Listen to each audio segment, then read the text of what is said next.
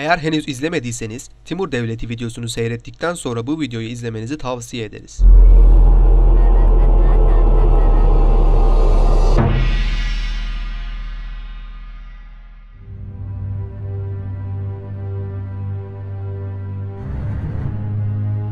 Yıldırım Bayezid Han fevkalade şiddetli ve asabi mizaçlıydı.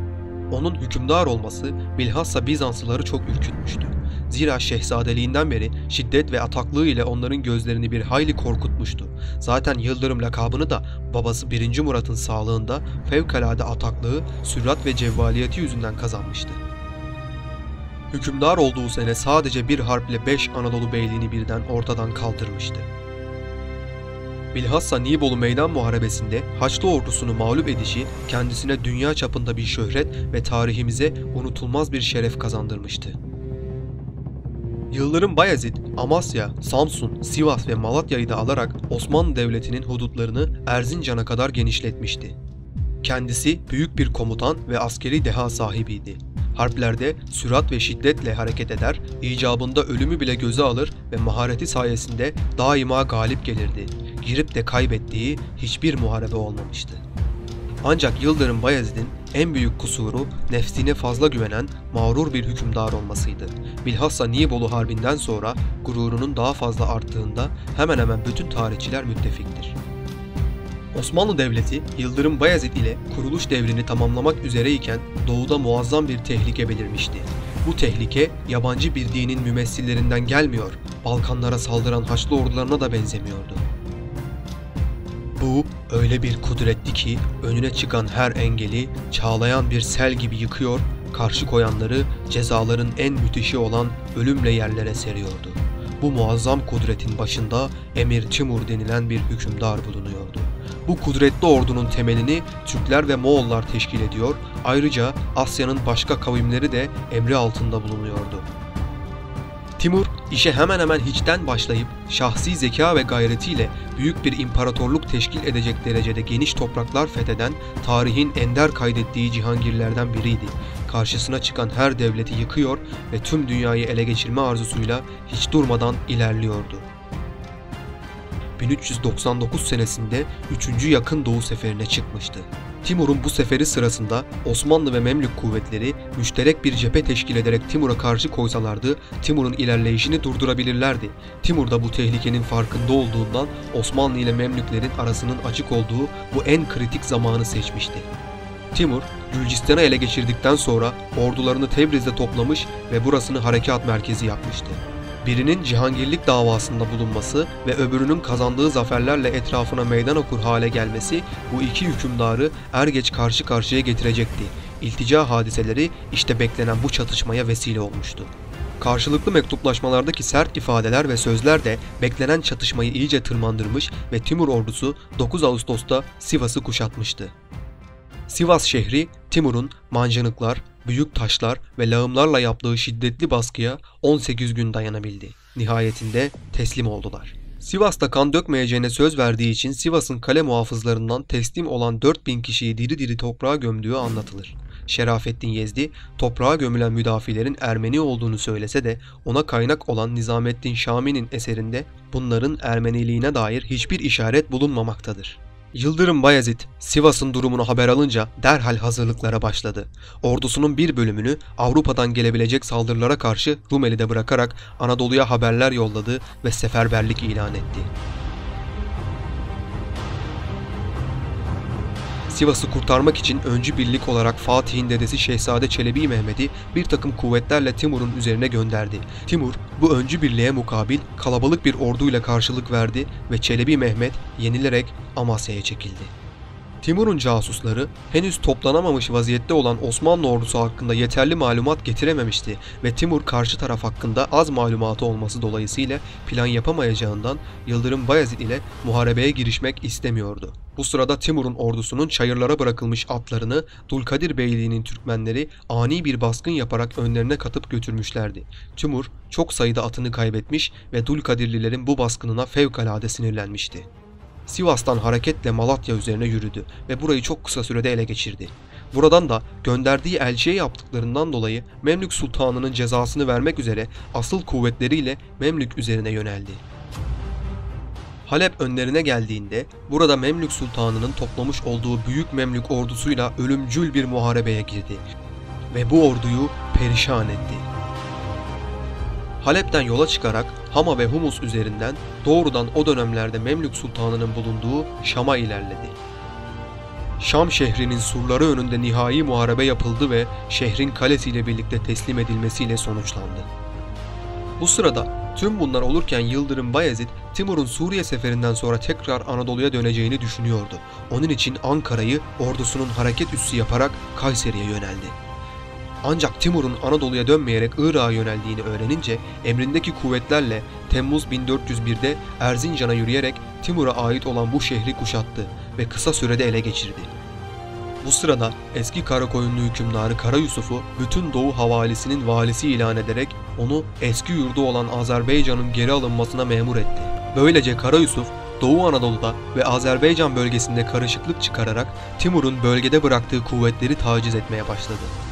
Bayezid, Timur'un Irak'tan çekildiğini haber alınca Celaleli Sultan Ahmet'i Irak topraklarını zapt etmesi ve Timur kuvvetlerini tacizle arkadan vurması için Irak taraflarına yolladı. Bu sırada tekrar hareket üssü olan Tebriz'e gelen Timur, Semerkand'a haberler yollamış ve bütün orduların Tebriz'e gelmesini emretmişti. Mektuplarında Yıldırım Bayezid'e kendisine biat ve itaat etmesini, Osmanlı'nın Timur'a bağlanmasını ve evlatlarından birini kendisine göndermesini emrediyor. Eğer emirleri yerine gelirse küffara karşı cihadında sana biz de yardım ederiz diyordu. Bayezid ise mektubunda kendi hanedanını methediyor, şayet onun gibi zulüm yolunu tutsa çok geniş ülkeler zapt edebileceğini işaretten sonra hile ve hüda yoluna sapmadan karşısına çıkacak düşmanlarla çarpışmaya her zaman hazır olduğunu belirtiyordu. Yıldırım Bayezid'in Timur'un teklifini kabul etmesi demek, ona tabi olması, müstakil devlet hüviyetini bırakarak Timur'un himayesinde bir bey menziline inmesi demekti. Halbuki o zamana kadar hiçbir savaş kaybetmemiş, 12 devletin Haçlı ordusunu tek başına yenmiş bulunan Yıldırım Bayezid böyle bir şeyi kabul edecek tıynette bir adam değildi. Timur'un torunu olan Sultan Muhammed Mirza kumandasında Semerkant'tan iyi teçhiz edilmiş seçkin kuvvetler de Tebriz'e ulaşınca Timur kendisini tam manasıyla kuvvetli hissetti. Ordusu 160 bin civarına ulaşmıştı. Timur bir kurultay toplayarak emirlerinin fikirlerini almak istedi. Emirlerin bir kısmı ve alimler Bayezid ile muharebeye muhalif olup onun kafirlerle nice gazalarda bulunan bir mücahit olduğunu söylediler. Emirlerden bazıları Anadolu'nun mustahkem ve fethi zor olduğunu, Osmanlı ordusunun mücahit gazilerle dolu bulunduğunu, harbe karar verirken iyi düşünülmesi gerektiğini söylediyse de bunların hiçbirine kulak asmayan Timur, Osmanlı'ya harp ilan edilmesi kararını aldı. Ordular Tebriz'den harekete geçti. Erzincan 15 gün içinde tekrar ele geçirildi ve Sivas'a gelindi. Timur, Yıldırım'ı zayıf düşürmek ve ordusunu kuvvetlendirmek için Sivas, Kayseri ve Malatya'da yaşamakta olan ve Osmanlı ordusunda bulunan Kara Tatarlar denilen Anadolu Moğollarını kendi tarafına celbedebilmek için zeki ve kurnaz bir adam olan Emir Fazıl'ı bir heyetle Kara Tatarların arasına gönderdi. Onlara zapt edeceği bölgelerden beylikler vaat ederek Kara Tatarları elde etti. Aynı zamanda eski Anadolu beyliklerinin beyleri de Timur'un ordusunda yer almaktaydı. Yıldırım Bayezid Tokat civarına gelip Timur'u dağlık bölgeye çekmek istiyordu. Timur'un ordusunun neredeyse tamamı atlılardan oluşmaktaydı. Bu yüzden Timur dağlık sahada ilerlemeyi uygun görmedi. Askerlerinin ekserisi yayalardan mürekkep olan Bayezid'in ordusunu yormak ve onunla yorgun bulunduğu bir anda harp etmek istediğinden Bayezid'in üzerine gitmeyerek Kayseri'ye teveccüh etti. Kayseri şehrini yağma ve talan ettikten sonra Kayseri halkının mahsullerini ordusu için müsaade etmişti. Daha sonra Kırşehir'e yönelen Timur Osmanlı ordusunun yaklaştığını öğrendi. Fakat o civarda da muharebeyi doğru bulmayarak Osmanlı ordusunun hareket merkezi olarak seçtiği Ankara'ya yöneldi. Yıldırım'dan önce Ankara'ya vararak Ankara'yı da kuşatmaya başladı. Ordusunun çoğunluğunun yayalardan teşekkül edişini nazara itibara alarak muharebeyi dağlık sahada vermeyi gözeten Bayezid, Timur'un Tokat'a gelmediğini ve Kızılırmak kavsini takip ettiğini öğrenince ümerasını topladı ve alınacak tedbirleri müzakere etti. Sadrazam Ali Paşa dağlık mıntıkada kalmak ve dağlara çekilip buralardan taciz ve baskın hareketleri yaparak Timur ordusunu yıprattıktan sonra münasip bir yerde son muharebeyi vermek fikrini müdafaa etti. Hoca Firuz, Anadolu'yu bir an önce Timur'un zulüm ve tahribinden kurtarmak için üzerine yürümeyi teklif etti. Sivas faciasına pek üzülen Yıldırım Bayezid, Hoca Firuz'un teklifini kabul etti ve Timur'a yetişmek için süratle Ankara'ya yürüyüşe geçti. Anadolu şehirlerinin Sivas'ın akıbetine uğramasını bir an önce önlemek endişesiyle ordusunun çoğunun yaya olmasına ve bu yüzden fazlaca yorulmasına bakmadan Timur'u yakalamaya çalıştı. Nihayet onun Ankara'yı muhasara ettiği sırada yetişti ve Timur'un karşısında mevzi aldı.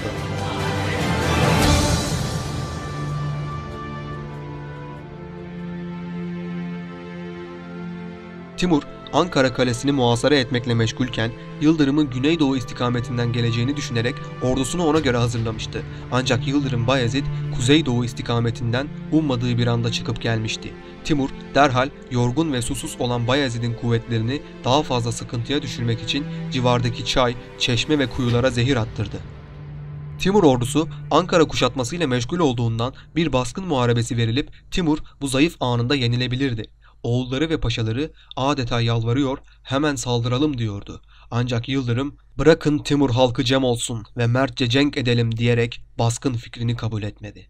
Tarihin en büyük meydan muharebesi başlamak üzereydi.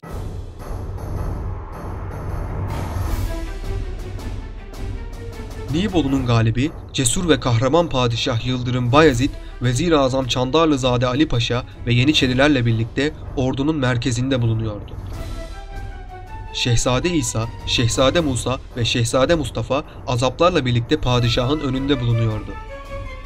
Sol kanatta Şehzade Süleyman ve Rumeli Beylerbeyi Hoca Firuz Bey komutasında Rumeli birlikleri, sağ kanatta Anadolu Beylerbeyi Kara Tümürtaş Paşa komutasında Anadolu birlikleri bulunmaktaydı. Sırp kralı Stefan Lazareviç emrindeki Sırp askerleriyle sol kanadın arkasında Timur tarafından harpten önce gizlice elde edilmiş olan Kara Tatarlar Sırp kuvvetlerinin arkasında yer alıyordu.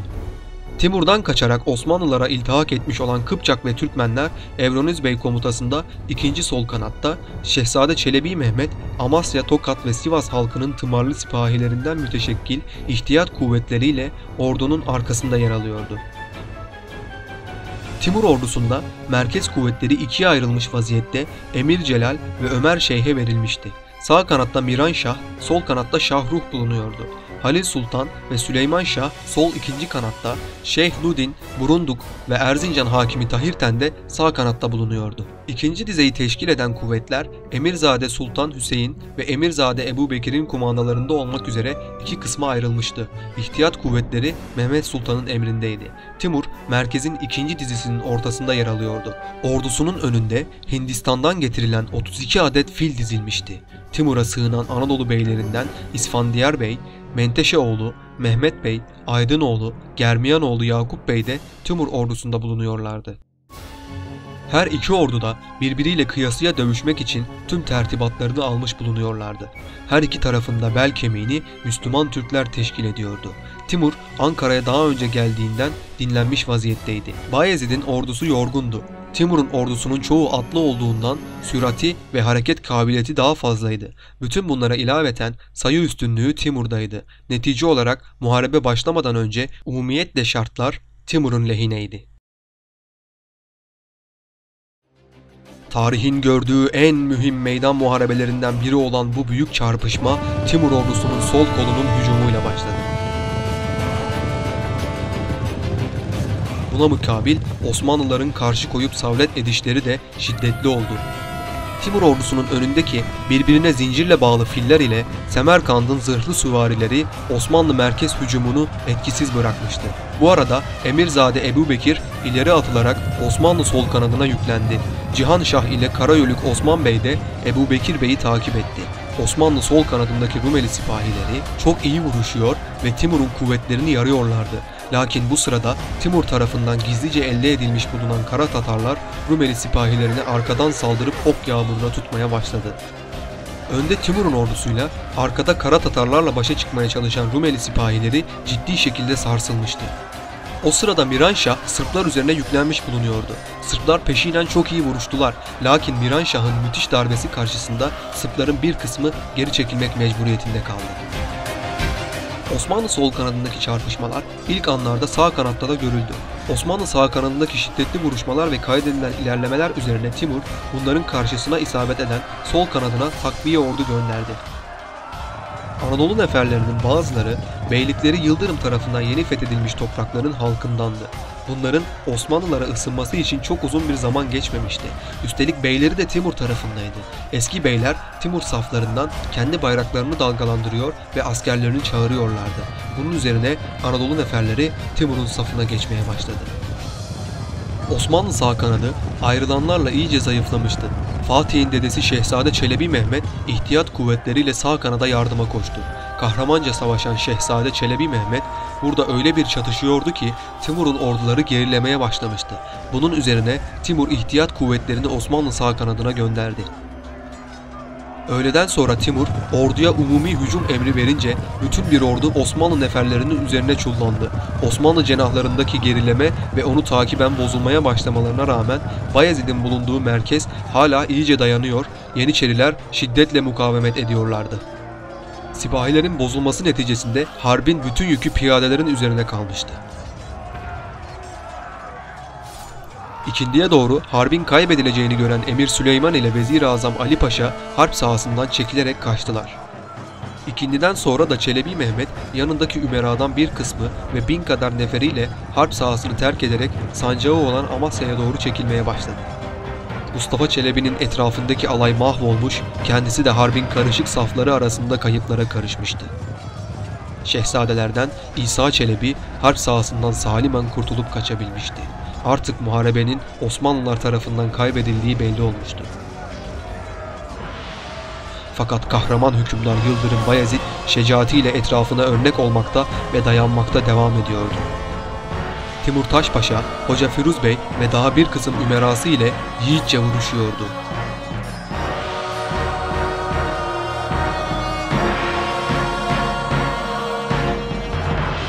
Akşam olunca Yıldırım Bayezid ve kalanlar vuruşa vuruşa Çataltepe'ye çekildi. Etrafındaki kuvvet yalnızca 10 bin kişilik Yeniçeri kuvvetiydi. Bu kuvvetlere karşı merkezden 70 bin kişilik Timur kuvvetleri hücum ediyordu. Çataltepe birkaç kat Timur kuvvetiyle sarılmıştı. Bayezid elindeki gürz ile hücum edenleri düşürüyordu. Gürz'ün her darbesini öyle vuruyordu ki ikinci bir darbeye hacet kalmıyordu. Yeniçeriler sultana sakın aramızdan ayrılma. Biz son nefer kalana dek kimse senin kılına dokunamaz diyordu. Nihayet akşam çökünce Yıldırım ve Yeniçeriler son bir kez düşman çemberini yararak vuruşa vuruşa Timur'un çadırına ilerlemeye başladı. Yıldırım'ın atı bir güz darbesi alıp yere düşmüştü. Yıldırım'ın üzerine çullanan Germiyanoğlu neferleri onu tanıdı. Ellerini bağlayarak Timur'un çadırına götürdüler.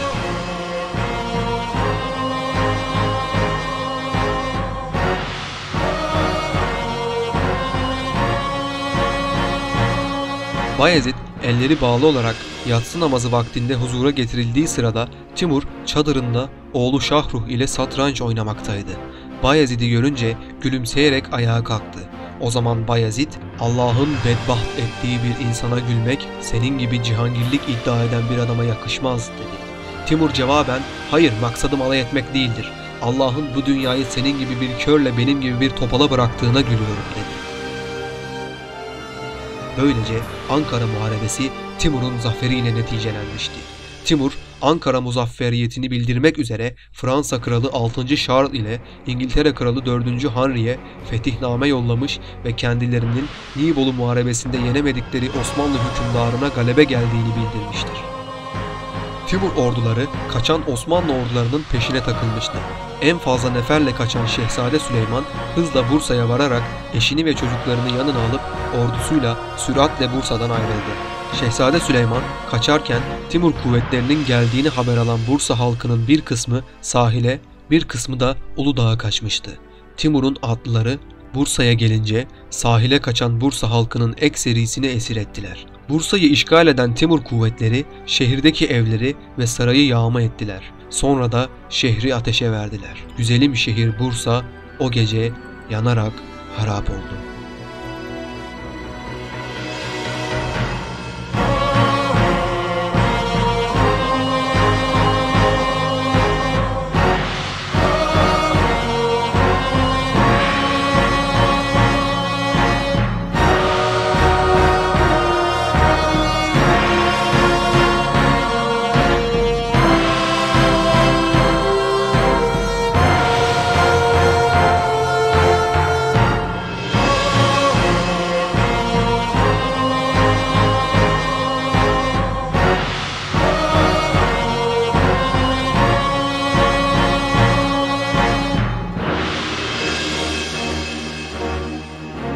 Akşam 8'de açıklamadaki Twitch adresimizde canlı yayınımız olacaktır. Soru ve görüşleriniz için yayınımıza bekleriz.